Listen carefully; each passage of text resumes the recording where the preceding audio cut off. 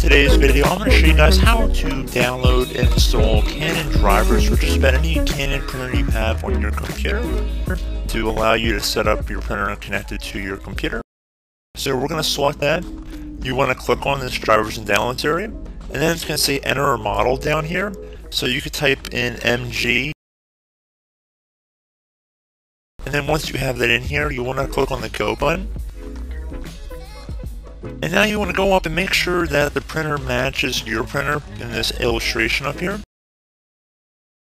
And you can see here it says the operating system. If you want to select a different version of the Windows OS, and then click on the download button. And then once it's finished downloading, you want to click on the executable to run it. And you do want to make sure it's a verified publisher and it says Canon Inc. here. I would highly recommend you check that. Don't just click on yes. You want to make sure you're getting it directly from Canon. And then click on yes.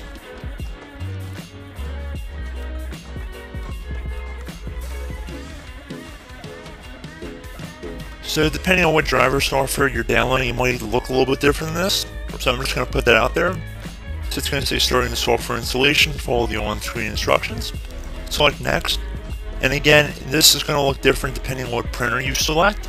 So don't be surprised if your appearance is a little bit different than mine. So I'm going to select next here. After you look through the end user license agreement, you want to select yes. And then select next one more time. And then it'll begin downloading and installing the software at this moment.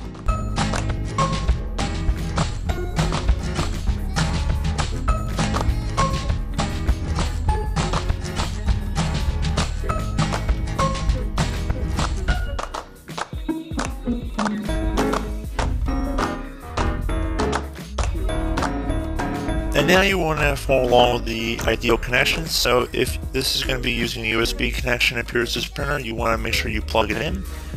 If it has wireless capabilities, you might be prompted if you want to explore that option as well. You want to just follow along whatever is most applicable to you guys. So pretty straightforward. So at this point it's just telling us to turn on the computer and it's even pointing to us where on the printer we should turn it on. So it really can't be any more straightforward than that. So I'm just going to close out of here